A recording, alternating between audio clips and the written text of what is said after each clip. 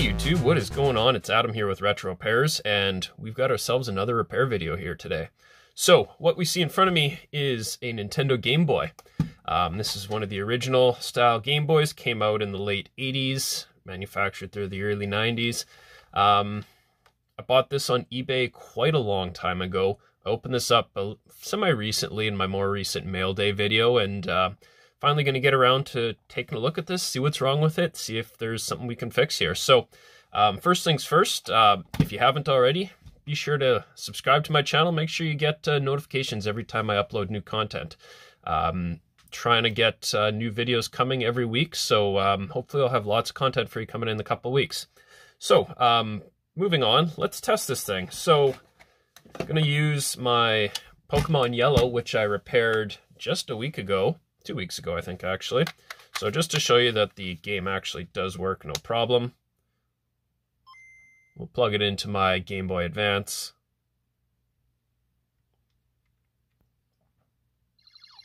And as you can see, it looks like it's good to go. So, Pokemon into the Game Boy. Um, just looking at the battery contacts in here, they actually look pretty good. A little bit of grime in that in here, but otherwise it's very clean. Um, this will probably get a bit of a cleanup, but um, I really don't think these battery terminals are going to be the issue. It's pretty common that I'll find when I uh, open up old Game Boys like this that maybe have sat for years and years with batteries in them. They're just, all the batteries have leaked and all the battery terminals are coated. They can't get a contact or anything. So that's often why you get no power issues on a Game Boy. But let's see what we've got here. Okay, so we got power and right away we can see we've got a bad display. Let's check the contrast wheel here. So you see these big lines down the middle. When I have the contrast, let's turn this down. When I have the contrast cranked all the way up, this whole screen should be dark. And you're seeing these um, these light bars on the side, the one vertical line there.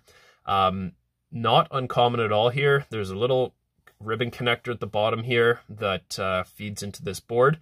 And we're going to have to reflow that to get this working. But otherwise, let's, uh, let's get some good contrast there. So we can see it works.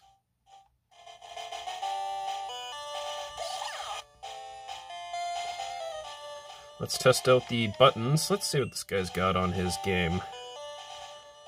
Oh, nothing. That's the one I repaired earlier.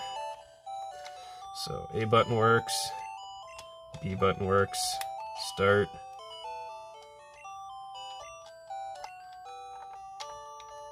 So, looks like it's more or less functional. We just got a bad display. So let's open this up. Let's uh, show you guys how to repair this.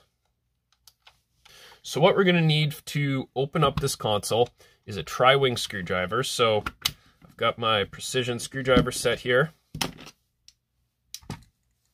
And tri-wing would be, where are we? Probably this guy.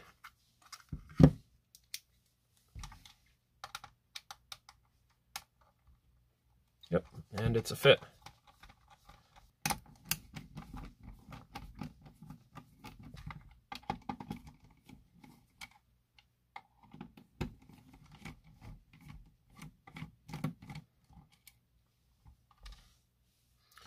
So this one, when I unscrewed it, I don't know if we can see here. There's just like all these crusties that came out of it. It's pretty gross. Um, so I think I'm going to wash this shell for sure. The barcode on the back here, probably going to get damaged in the wash. Um, but as you can see, it's already very damaged already. Not too concerned about that. But um, all those flakes that are coming up, um, that's not so much just dust. It's usually like grease, dead skin cells, dirt, grime, just general gross stuff that gets in there. Since this was a handheld, comes into contact with your hands, um, just like a controller. When you open up a controller and you see those crusties caked into the, uh, the seams between the shell parts, same thing there.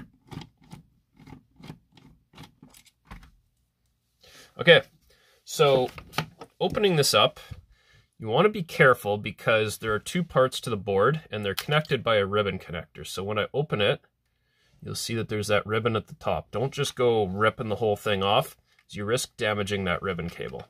So fold it down, grab it in the middle, and just like that.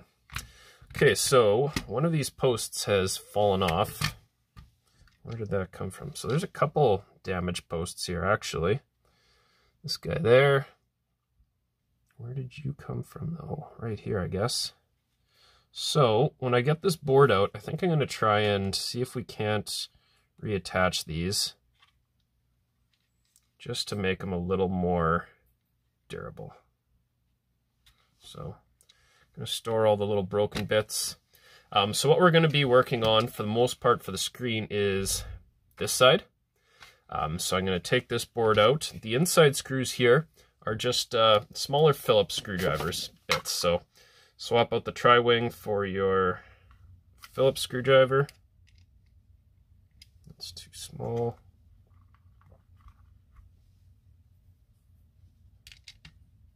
That's a good fit. And this is S21PH. That's how that's labeled on my precision set here. So all these screws are just going to come off. I'll skip ahead here.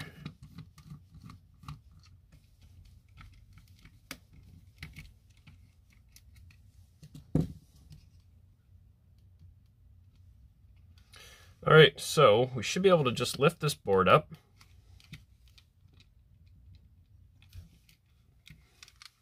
Sometimes it does get a little bit adhered down.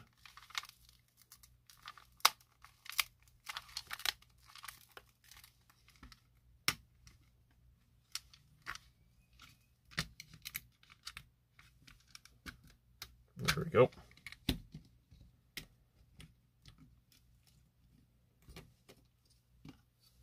Okay, so board is up. We can set the shell aside. Um, so at one point I do want to actually clean this shell. I'm not going to do it right now.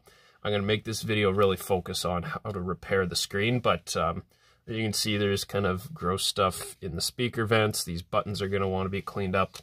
Um, but that will be a job for another video. So I'm going to set my shell parts over to the side there. Um, I will need this, though, for testing.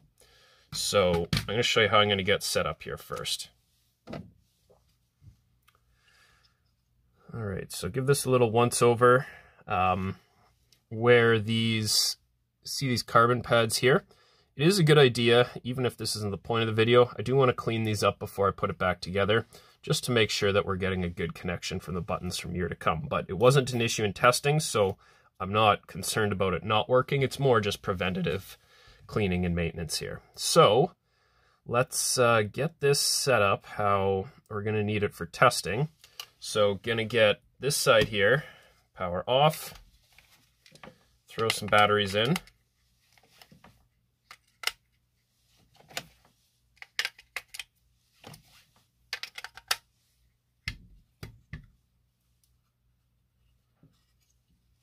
And then we're going to reinstall this ribbon cable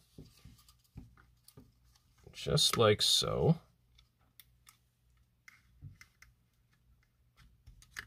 There you go. So you want it to be in flat, even pressure. So we are connected. I'm going to turn this over and have it look something like this.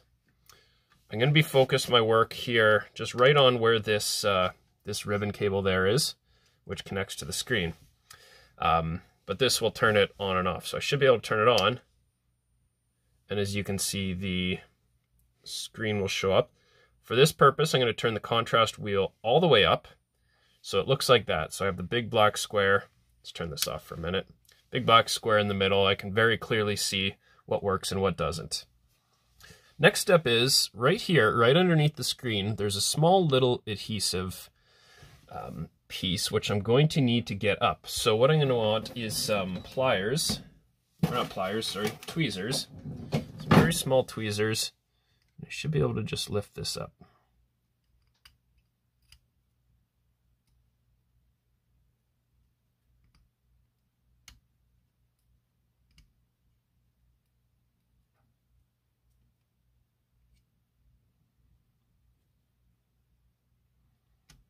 Perfect, just like that.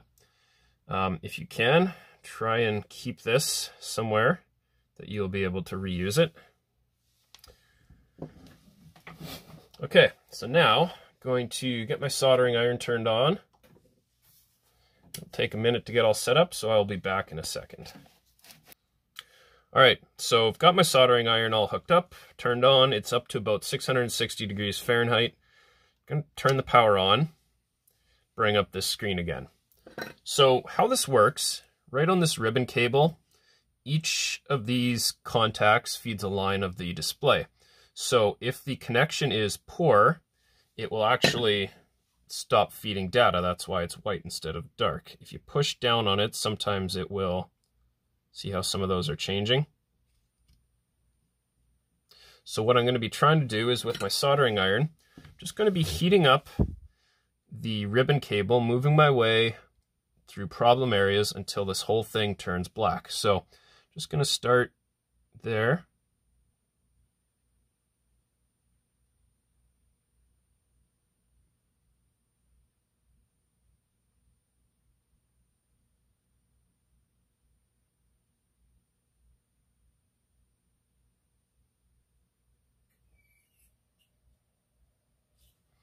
And you see that as I work away from it, um, we're starting to get some of those lines filled in. So I'm going to keep coming back, going over areas that I've been. It might lose its connection for a second, and then once it starts cooling, you will get your data feed again.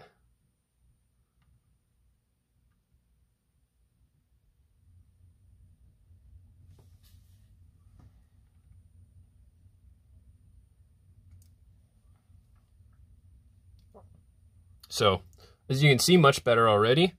Um, just need to keep coming through wherever you're seeing problems until they all turn dark.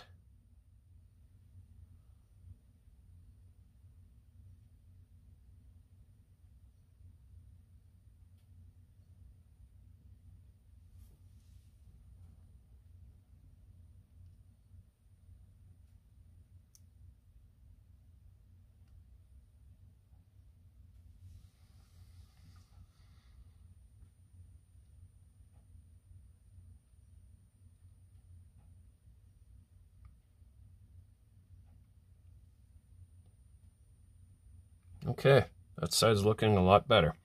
I'm gonna repeat the same steps over here.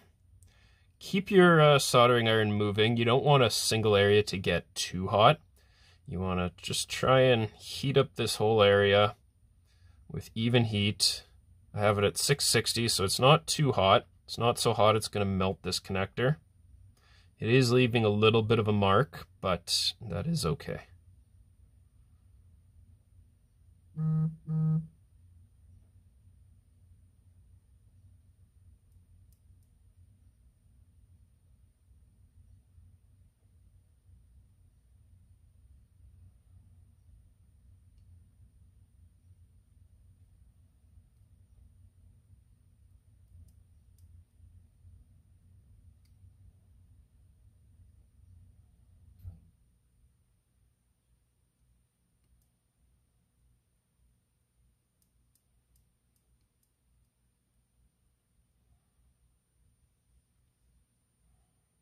Let's let that relax for a bit, see how this looks. Okay, so try and keep an eye as these lines are flickering, which one the furthest to the side is, so you know that you've got a little bit more to go.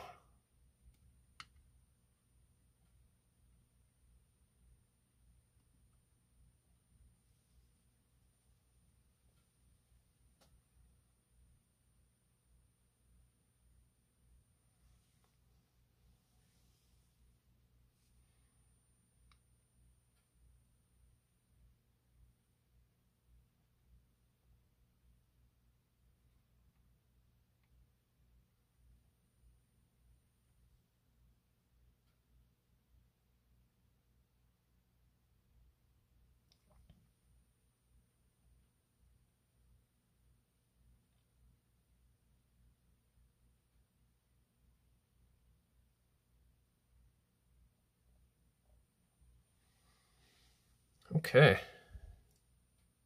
Looks like we are super close. There's a couple lines there that just are a little faint and they keep flickering off. So I'm not sold that it's 100% ready, but I'm going to let this cool and we'll start at it again in a minute. You see they're still flickering there.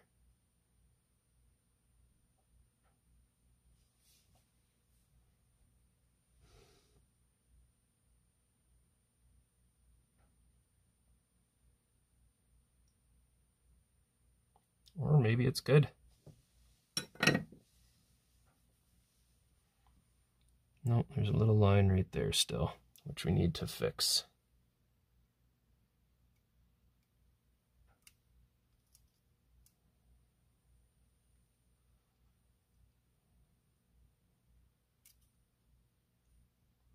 Yeah, so as you can see, when I put pressure down here, they still flicker. I put pressure down here, we're good. So this one still needs a little bit of work. Sometimes it might help to apply some pressure just at the bottom with your finger.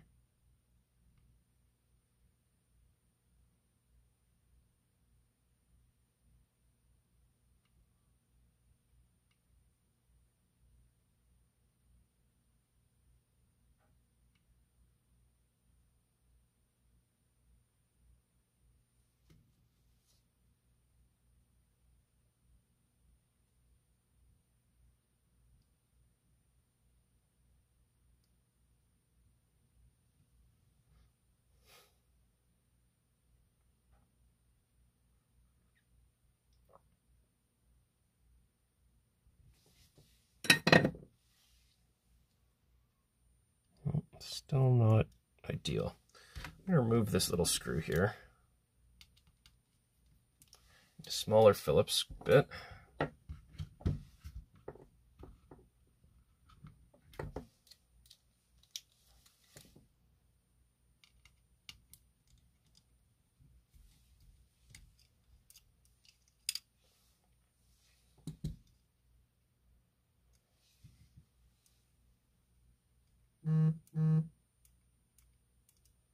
It's almost there.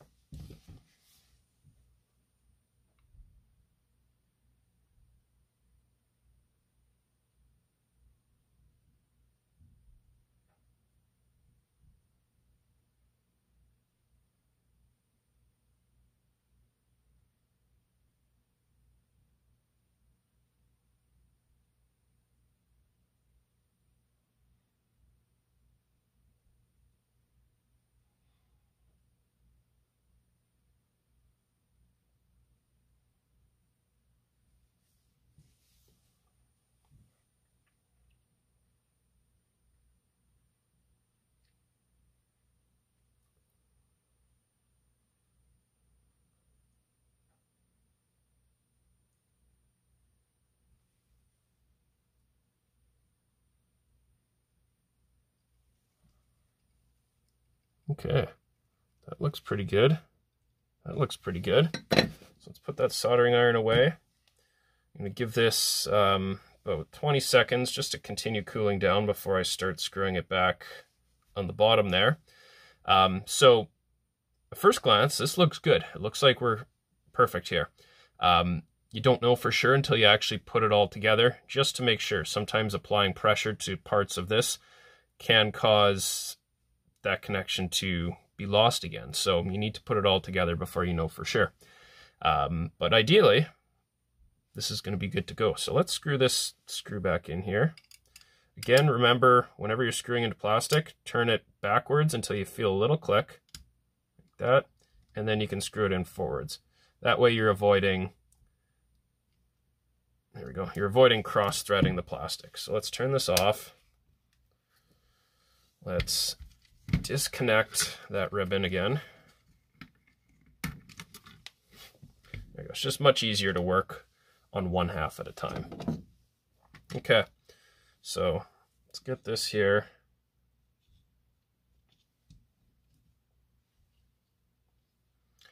Oh yeah, said I was going to clean those contacts. So I gotta grab my isopropyl alcohol, just be one moment. Okay, so all I use here, have my Q-tip. I have the end coated in just 99% isopropyl alcohol. Just going to go over any of these black pads here just to make sure that there's no gunk, grime, any type of buildup there. You'll note that the end does get black, and that is okay. Um, that comes from these pads, so you don't have to do it until it's no longer coming up black, because it probably will continually do that. But you just want to get any loose stuff up out there. If there's any um, corrosion to it, you might need to do something about that before it's ready to go back together. But um, for our purposes, this is good to go. So I'm going to feel that. That is cool. I'm going to try and put this little adhesive strip back in here. I'm not sure exactly how much good this does anymore. And I don't know, but you might even be able to get replacement adhesive strips for these things. Taking care to try not to touch the screen. You just want to avoid getting your fingerprints on it.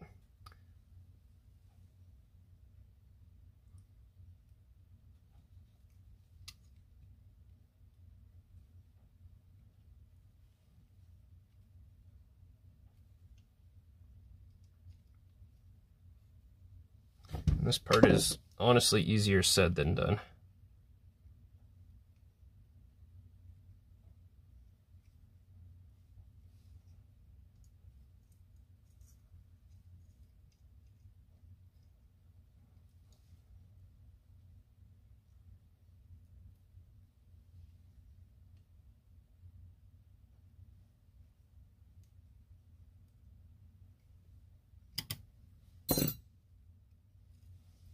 It's not going on. It's lost its adhesive.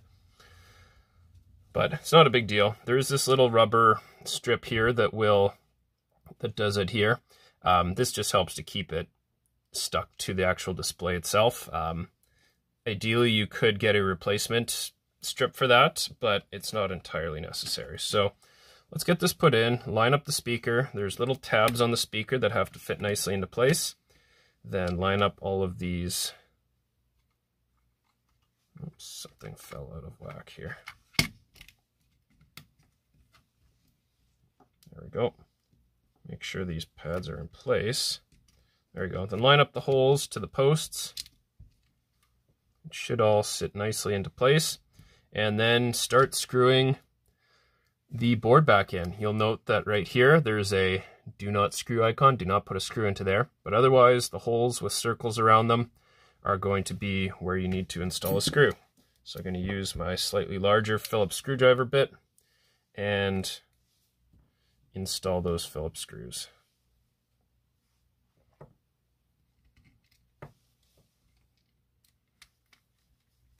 Sometimes it helps to actually hold it off your workstation just so that the buttons aren't pushing up on the board for your first couple anyways. That way you can get a nice solid connection.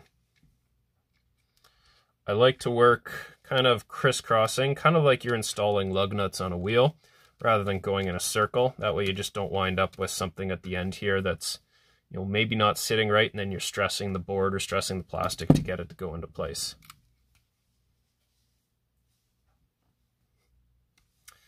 Okay, so I've got the board screwed in here. Um, as I mentioned before, there are some posts that need repairing. I'm going to do that as part of another video where I actually kind of really restore this back to as good condition as I can. But for the sake of showing you how to fix the screen, this is almost done. So get that ribbon connector back in. Make sure that the power switch now fell out. Um, I've been guilty of that a couple times where you put it all together and then you realize, oh crap, power switch isn't in.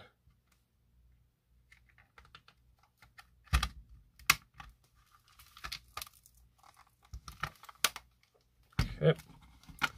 And then the tri-wing screws. So switch back to the tri-wing bit.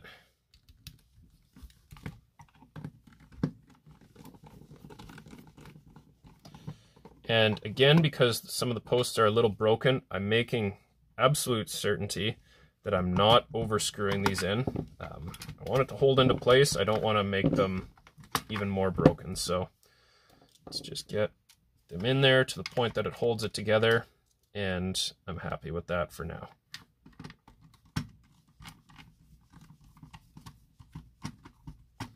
And if you feel or hear it start to crack, just back off.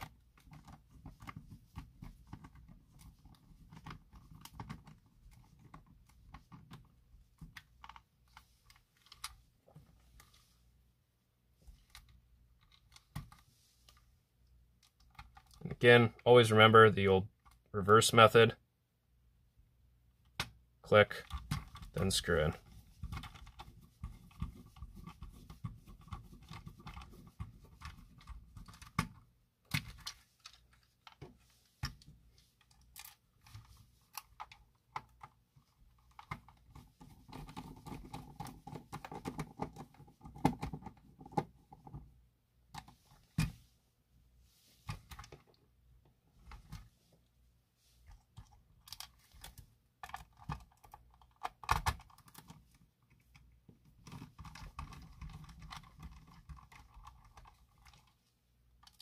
That one's busted off, so I'm going to save that screw.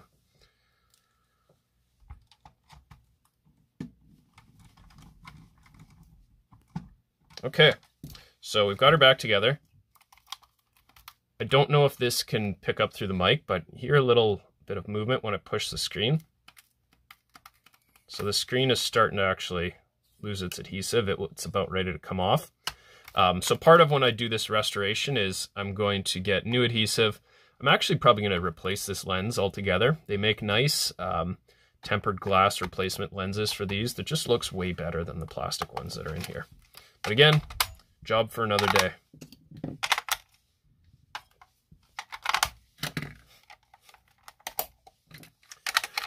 Batteries in, Pokemon in.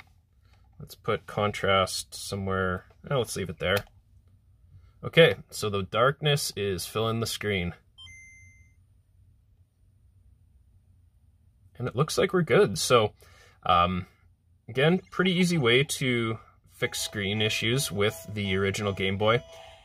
There we go, let's turn that down. So that is a pretty common way to find these. Those These screens tend to fail like that pretty often, and like you saw, um, it's not that difficult to repair. Um, you just need a soldering iron and a little bit of willingness to get in here and poke around yourself. Um, so that's going to be it for this video. Stay tuned for another one in the coming future where I'm going to actually um, restore this a little bit better. We're going to replace the lens on there, give this a good cleanup, um, really make this look nice. But um, until then, I want to thank you for watching. If you haven't already, be sure to subscribe to my channel, hit that bell notification so you get all the immediate notifications when I upload new content. Um, I'm going to try and do that as weekly as I can. So um, hopefully we'll have a lot more videos you'll be able to see from me in the coming weeks. So once again, thanks a lot for watching. I really appreciate it. Have a good one. We'll see you next video.